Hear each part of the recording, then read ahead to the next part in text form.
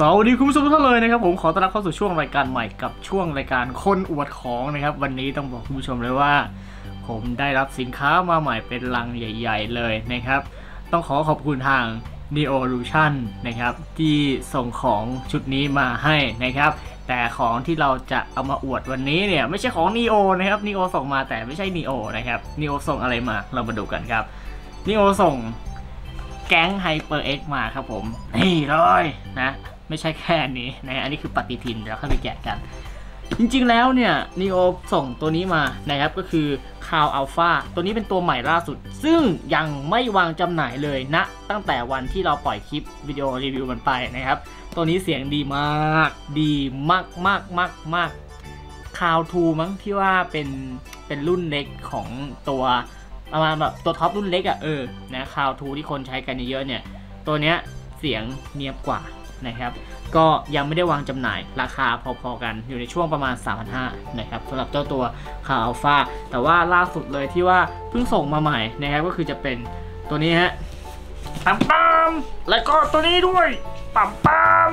หืมสองตัวนี้เลยนะฮะผมต้องบอกคุณผู้ชมก่อนนะครับว่าสำหรับตัวอ่าซีรีส์ HyperX เนี่ย ผมเป็นคนที่แบบอยากจะลองมันนานแล้วเหมือนกันนะ แต่ว่าก็ได้ยินมาแต่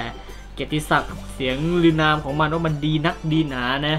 ไฮเปก็เป็นอีกหนึ่งแบรนด์ที่เข้าไปอยู่ใน choice ของตัวเลือกของ pro player ระดับโลกเลยนะครับผม ถ้าเราไปหา chart pro player ระดับโลกเราก็จะเห็นว่า HyperX ก็เป็นอีกหนึ่งแบรนด์นะครับที่ pro player เลือกใช้กันเยอะพอสมควรเลยนะครับสำหรับรุ่นคาว d e v e r ตัวนี้นะครับจะเป็นรุ่นที่ top top เกือบสุด อ่าเป็นว่ามันก็ top top แหละนะครับทั้ง 2 ตัวเลยเป็นคาว r e v e r เหมือนกันนะครับแต่ว่าตัวนี้จะเป็นคาว r e v e r S นะครับสองตัวแตกต่างกันยังไงนะตัวผมเองยังไม่ได้ test แบบว่า test เต็มๆนะผมแค่อ่ามีการแกะลองนิดๆหน่อยๆนะครับตัวนี้เนี่ยสายมันจะเป็นอ่ามันจะเป็นแจ็ค3.5สองเข้ามาตรงนี้เห็นปะมันจะเป็นแจ็คเล็ก เอาเป็นว่าเอาให้ดูแม่งเลยดีกว่าง่ายดีนะครับเนี่ยฮะ มันจะเป็นแจ็คแบบนี้ครับผม เป็นแจ็คเล็กนะอ่าสำหรับในรุ่นของ c o w r e v o l v e r นะครับ ในส่วนของตัว c o w r e v o l v e r S จะเป็นอ่า Sound Card แล้วก็ USB ในตัว ซึ่งก็จะมี Sound Driver ในตัว ความแตกต่างผมนิมุมมองผมนะ ยังไม่ได้ลองใช้ทั้งคู่เลย ก็คือผมคิดว่าเจ้าตัวคุณภาพเนี่ย ตัวเนี้ยมันจบในตัวก็คือมันมี Sound Card คุณภาพมันก็จะตายตัวคงที่แล้วก็จะเป็น USB ซึ่งเวลามันจะไปเสียบกับ driver อย่างอื่นเนี่ยมันอาจจะค่อนข้างลำบากหน่อย แต่ว่าพอเป็นตัวเนี้ยคุณภาพของมันเนี่ยมันอาจจะมีการแกว่งขึ้นแกว่งลง เพราะว่า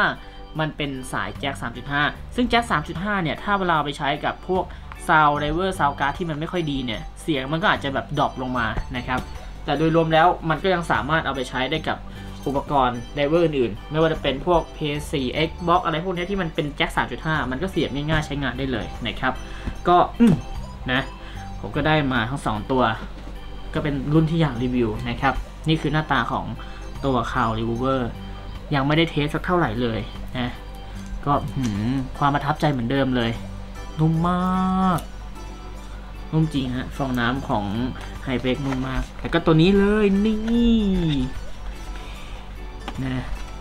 ซีรีส์เซตนี้ต้องขอบคุณนีโอนะครับ ไม่ได้ขอบคุณไฮไฮเบกไม่ได้ส่งนีโอส่งมา เออ ต้องขอเกริ่นนิดนึง บางคนจะสงสัยว่าเอ๊ะทำไมนีโอส่งไฮเบกมานะครับ เรามาดูที่กล่องนะครับ เห็นอะไรไม่เอ่ยปังปังปังตรงนี้ฮะ นี่คือใบการันตีนะครับ อ่าวารันตีก็คือประกันนั่นเองนะครับผมหูฟังของ HyperX ที่เวลาเราซื้อมาเนี่ยอ่า เดี๋ยวนี้มันจะติดเป็นของ Neo หมดแล้ว นั่นหมายความว่า Neolution ได้สิทธิ์ในการจัดจำหน่าย HyperX นั่นเองนะครับ สินค้าเวลามีปัญหามีอะไร Neo เขาก็จะรับผิดชอบแล้วก็เคลมสินค้าตัวใหม่ ถ้ามันเสียให้นะครับนะก็จะเป็น Neo เป็นผู้จัดจำหน่ายนะครับ ก็นะเขาส่งมาให้ผมรีวิวนะอะแล้วก็เจ้าสิ่งนี้นะฮะ เจ้าสิ่งนี้ก็คือปฏิทินนั่นเอง 2018 นะครับ ว้าว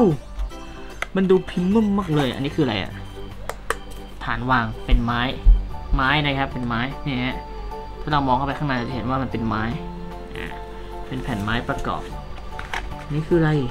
โอ้โหนี่ดีมันดูแบบเงาเงาอะพรีเมียมมากเลยนะเฮ้ย HyperX เป็นแบรนด์ที่อ่ามาจากคิงตันด้วยนะครับ ถ้าบางคนแบบเคยหาประวัติของแบรนด์อะ อ่า HyperX คิงตันเนี่ยเขาทำไอ้นี่มาก่อนแรมเป็นแรมเป็น SSD เนี่ยฮะอ่า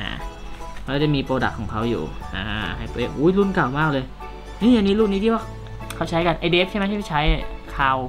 คาวตัวเล็กมั้งใช่ป่ะตัวเนี้ยเนี่ยตัวที่ว่าคนเขาใช้กันเยอะๆนะครับนี่ไงคาว X คาว2อ่านะครับผมอันนี้อะไรเนี่ยคาว Revolver นี่นะครับ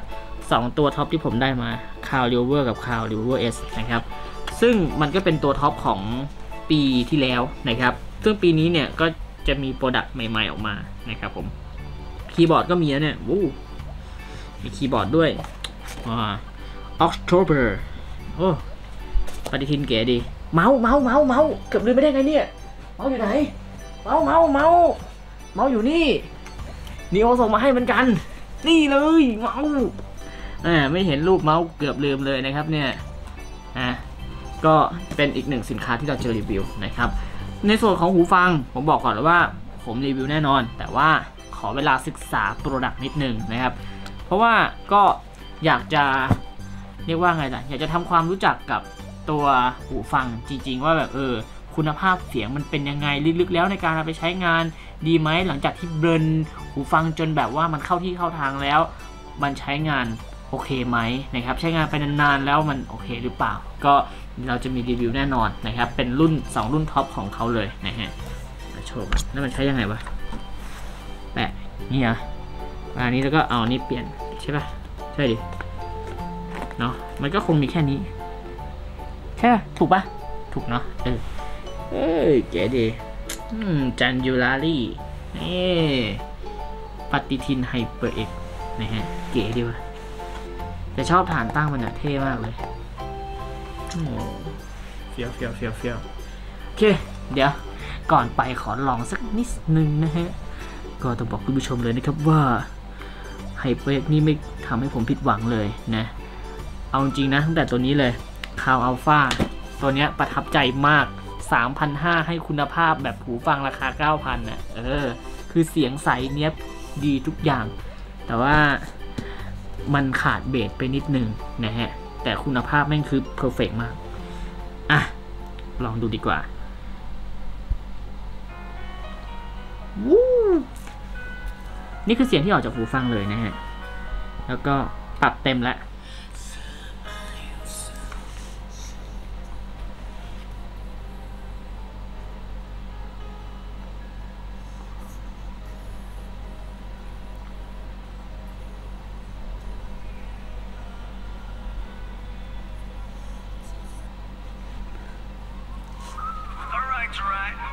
เสียงมันใสมากเลยอะ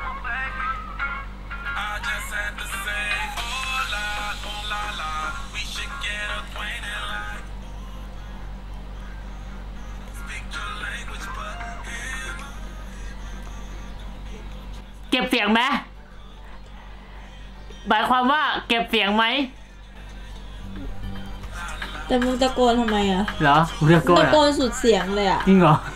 มึงเป็นไรอะ พอใส่ปุ๊บเนี่ยเสียงมันเก็บไหมคนคนนอกได้ยินไหมสมมติว่าไปใส่นั่งรถเมล์อะได้ยินได้ยินใช่ไหมอันนี้เป็นเลเวลที่แบบว่าฟังแบบทั่วๆไป ไม่เปิดดังมาก อย่างเงี้ยได้ยินปะไม่ได้ยินไม่ได้ยินใช่ไหมโดยรวมแล้วดีแต่มึงตะโกนทำไมอะเมื่อกี้ยังตะโกนอีกเหรอตะโกนบ้านะนะครับ ก็ทั้งสองตัวเดี๋ยวเราก็จะรีวิวจะขอเวลาศึกษาตัวโปรดักก่อนนะฮะอืม ถอดไมค์ได้ด้วยอะเก๋ว่ะนะครับก็วันนี้ไม่มีอะไรมากครับคลิปวิดีโอนี้มาอวดของฮะเอามาบ้างขอะองทั้งหมดสิไอ้แผ่นผังทั้งหมดเลย ไม่ขอบคุณ HyperX ขอบคุณ Neolution Neolution ส่งมานะฮะนี่ปั๊มปั๊มปั๊มปั๊มปั๊มปั๊มปั๊มปั๊มปั๊มเยอะไปหมดเลยว้าวเต็มไปหมดเลยโอ้สุดยอด เอาไว้รู้สึกมีความสุขเวลาอยู่กับเกมมิ่งเกียร์ตัวดีๆ ทั้งนั้นเลย โอเคคุณผู้ชมก็สำหรับคลิปวิดีโอนี้ลาคุณผู้ชมท่านอาไปแต่เพียงเท่านี้นะครับ ผมอย่าลืมติดตาม subscribe ช่องเพื่อรับชมคลิปวิดีโอรีวิวต่อๆไปกันในอนาคตด้วยนะครับผมเจอกันในคลิปหน้าครับ สวัสดีครับ